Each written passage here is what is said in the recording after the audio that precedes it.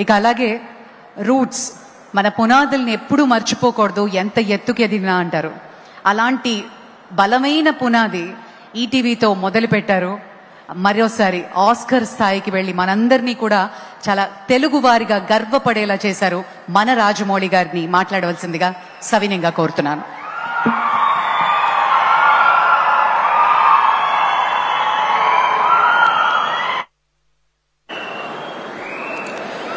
అందరికీ నమస్కారం అండి. రామోజీరావు గారు ఎన్ని శిఖరాలు అధిరోహించారు? ఆయన అధిరోహించడమే కాకుండా ఆయనతో పాటు ఎంతమందిని చేతులు పట్టుకొని ముందుకు తీసుకెళ్ళారు బైక్ తీసుకెళ్ళారు? రాష్ట్ర ప్రజల కోసం ఎంత చేశారు అన్నది ఇప్పటివరకు నా ముందు మాట్లాడిన వక్తలందరూ చెప్పారు. ఆడియో వీడియో విజువల్లో కూడా చూసాం తర్వాత కూడా ఇంకా చెప్పబోతారు. అంతకన్నా నేను ఎక్కువ చెప్పగలనని అనుకోవట్లేదండి. అంత సాహసం చేయట్లేదు. ఒకటే అడుగుతున్నా అండి అంత చేసిన రామోజీరావు గారికి మనం తిరిగి ఏం చేయగలం? హండ్రెడ్ పర్సెంట్ అండి. ఆంధ్రప్రదేశ్ రాష్ట్ర ప్రభుత్వాన్ని తెలంగాణ రాష్ట్ర ప్రభుత్వాన్ని కేంద్ర ప్రభుత్వాన్ని కూడా రిక్వెస్ట్ చేస్తున్నాను ఈ వేదిక మీద నుంచి. రామోజీరావు గారికి భారతరత్న ప్రదానం చేయడం సముచితం సబబు. నమస్కారం అండి. Thank you.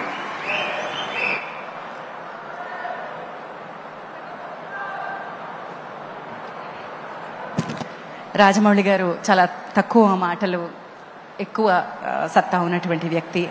సేమ్ రామోజీరావు గారి ప్రిన్సిపల్ కూడా అదే. నిర్మోహమాటంగా చాలా అతి తక్కువ టైం ఇచ్చిన ఎప్పుడు నవ్వుతో చెరగనిటువంటి ముద్ర వేయగలిగేటువంటి అతి తక్కువ మాటలతో పొదుపరి కానీ చాలా గట్టి విలువలు ఉన్నటువంటి మనిషి. మరి ఈ రోజు మనతో ఉన్నటువంటి ప్రముఖులు రాజకీయ ప్రముఖులు చాలామంది ఉన్నారు. శ్రీ తెనాలి శ్రవణ్ కుమార్ గారు ఎమ్మెల్యే తాడికొండ వారిని రావాల్సిందిగా ఆహ్వానిస్తున్నాను. శ్రీ దనాల్ శ్రవణ్ కుమార్ గారు.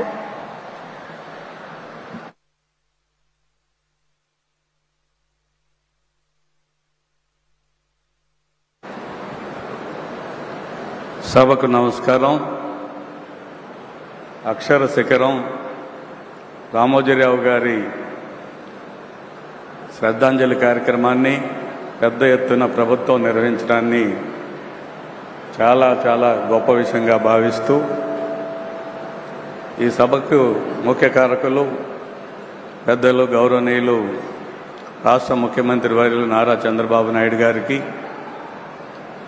ఉప ముఖ్యమంత్రి శ్రీ పవన్ కళ్యాణ్ గారికి అదేవిధంగా రామోజీరావు గారి కుటుంబ సభ్యులకు ఈ కార్యక్రమానికి విచ్చేసిన పెద్దలందరికీ వివిధ హోదాల్లో ఈ కార్యక్రమంలో భాగస్వాములైన అందరికీ నమస్కారం తెలియజేస్తూ మొట్టమొదటిగా ఆయనకి ఈ సందర్భంగా ఘనమైన నివాళులు అర్పిస్తూ ఉన్నాను సోదరులారా సోదరిమణులారా కృషితో పట్టుదలతో క్రమశిక్షణతో ఒక వ్యక్తి ఎంత ఎత్తుకు ఎదగవచ్చో రామోజీరావు గారి జీవిత చరిత్ర చూస్తే మనకు అర్థం అవుతుంది ఒక సామాన్యమైన రైతు కుటుంబంలో పుట్టి అసామాన్యుడిగా ఎదిగిన ఆయన జీవితం మనందరికీ తెరిచిన పుస్తకం. మానవుడు మహనీయుడిగా ఉన్నాడనే మహనీయుడిగా తయారవుతాడనే ఒక పాటలోని మాటకి ప్రత్యక్ష రూపం రామోజీరావు గారు.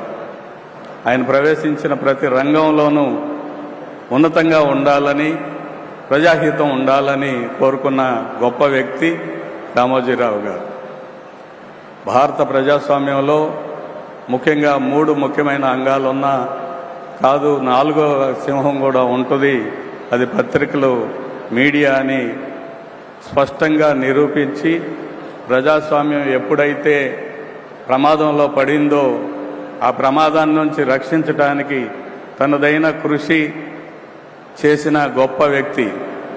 ఎమర్జెన్సీ సమయ టైంలో కానీ ఈ రాష్ట్రం అన్ని విధాలుగా అక్రమార్కుల చెరబట్టినప్పుడు కానీ ఆయన పత్రిక ద్వారా చూపించిన మీడియా ద్వారా చూపించిన చొరవ కానీ ప్రజలను చైతన్యం చేయటం కానీ అందరికీ మనందరికీ స్ఫూర్తిదాయకం.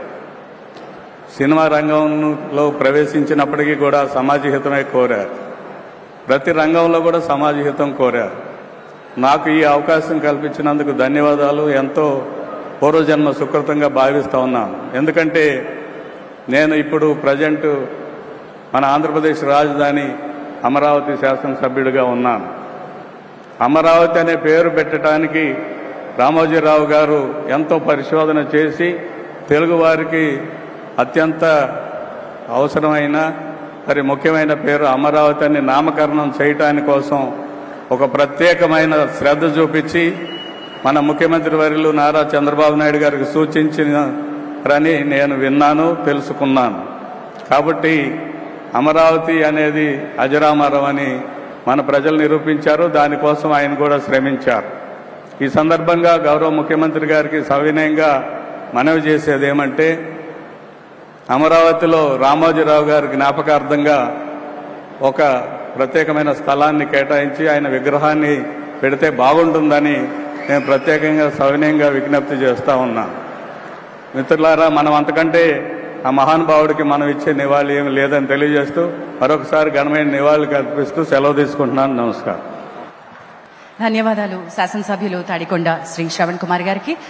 ఇక కార్యక్రమాన్ని ముందుండి ఈ కమిటీలు మొత్తం సారథ్యం వహించి ఈ కార్యక్రమాన్ని నడిపించినటువంటి మాన్య మంత్రివర్యులు శ్రీ కొలుసు పార్థసారథి గారు honourable minister for housing information and public relations government of Andhra Pradesh Shri Parthasarathy గారు మాట్లాడతారు.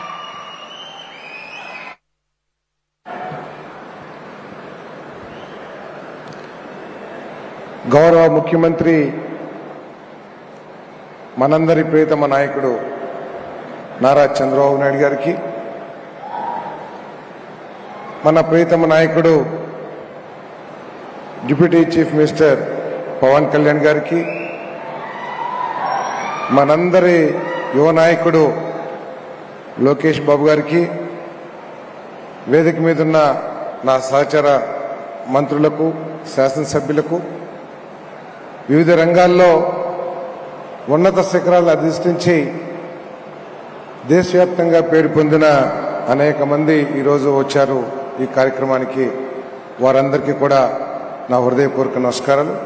ప్రత్యేకంగా రామోజీరావు గారి కుమారులు కిరణ్ కుమార్ గారికి అదేవిధంగా వారి కుటుంబ సభ్యులకు అందరికీ కూడా నా హృదయపూర్వక నమస్కారాలు.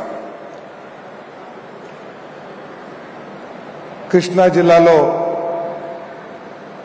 పెదపార్పూడి గ్రామంలో జన్మించి అతి సామాన్య కుటుంబంలో జన్మించి ఏ రంగంలో కాలు మోపినా కూడా ఆ రంగంలో ఎవరెస్ట్ శిఖరం లాగా పెరిగిన రామోజీరావు గారి జీవితం మనందరికీ కూడా స్ఫూర్తిదాయకం అని చెప్పేసి మనం చేస్తా ఉన్నా నేను. ఈరోజు ఆయన మన మధ్య లేకపోయినా కూడా ఆయన వ్యక్తిత్వం గురించి ఆయన జీవితంలో సాధించిన విజయాలను దృష్టిలో పెట్టుకుని మరి ఆంధ్రప్రదేశ్ ప్రభుత్వం ప్రత్యేకంగా నారా చంద్రబాబు నాయుడు గారు ఈ సంస్మరణ సభని ఘనంగా నిర్వహించాలి అని చెప్పేసి ఒక నిర్ణయం తీసుకోవటం ఆ కార్యక్రమాన్ని కొంత భాగం నన్ను కూడా బాధ్యుని చేసినందుకు నేను గర్వంగా కూడా భావిస్తున్నానని చెప్పేసి మనం చేస్తాను. ఈరోజు రెండు తెలుగు రాష్ట్రాల్లో కూడా ఈనాడు పత్రిక చదవందే చాలా మందికి ఉదయం ప్రారంభం కాదు. ఈనాడు పత్రిక అంత విశ్వసనీయత తీసుకొచ్చిన గొప్ప వ్యక్తి రామోజీరావు గారు అని చెప్పేసి మీ అందరికీ కూడా నేను సవినీయంగా మనవి చేస్తామని. మరి అంత పెద్ద వ్యక్తి గురించి నేను పెద్ద విషయాలు చెప్పలేను కానీ ఆయన భావితరాలకు మాత్రం ఒక విషయాన్ని తేలా తేట తెల్లం చేశారని చెప్పేసి మనం చేస్తాను.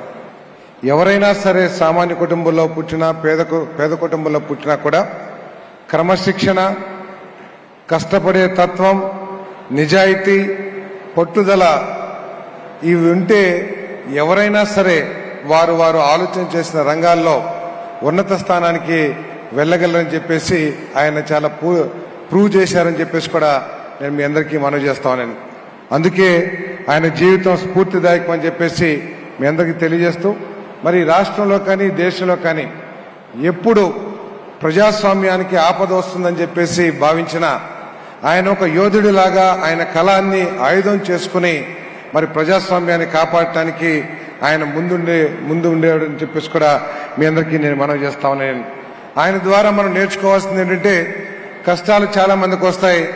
కష్టాలు వచ్చినా కూడా నిజాయితీని వదులుకోకుండా పట్టుదలతో పోరాటం చేయాలి అని చెప్పేసి మనందరికీ కూడా స్ఫూర్తినిచ్చిన గొప్ప వ్యక్తి మరి రామోజీరావు గారు అని చెప్పేసి మీకు మనవి చేస్తాను. ఒక విషయం నేను చెప్పదలుచుకున్నాను. నిన్న కిరణ్ రామోజీరావు గారి కుటుంబ సభ్యులందరూ కూడా మరి విజయవాడ రావటం జరిగింది. ఐఎన్పిఆర్ మినిస్టర్గా కిరణ్ కుమార్ గారిని ఆహ్వానిద్దామని చెప్పేసి ఒక రెండు నిమిషాలు గౌ- గౌరవంగా కలుద్దామని చెప్పేసి వారి అపాయింట్మెంట్ కోసం ఫోన్ చేస్తే రమ్మని చెప్పారు. వెళ్ళంగానే వడివడిగా